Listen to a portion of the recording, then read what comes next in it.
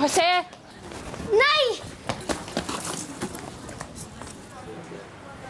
Nay, akala ko po sa Makalawa pa po kayo pupunta.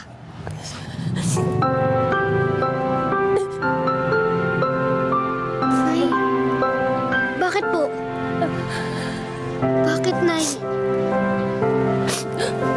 Anak, may nangyari kay Lola Ebe.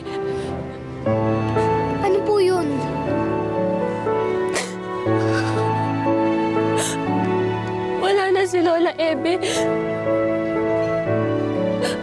Patay na yung lola mo.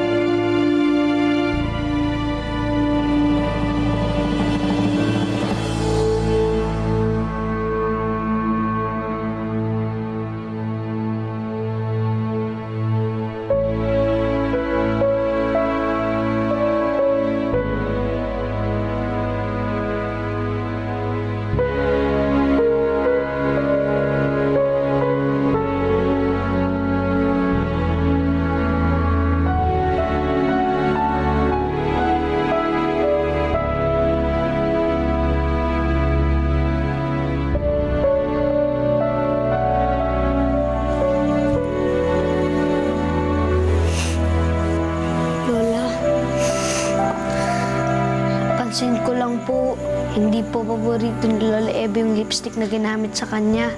Kasi po, yung lagi niya pong ginagamit, yung color pink po na lipstick.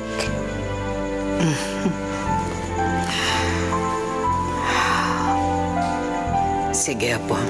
Pasama ka na kay Rod, ha? Kunin niya yung lipstick ni Lola Ebe.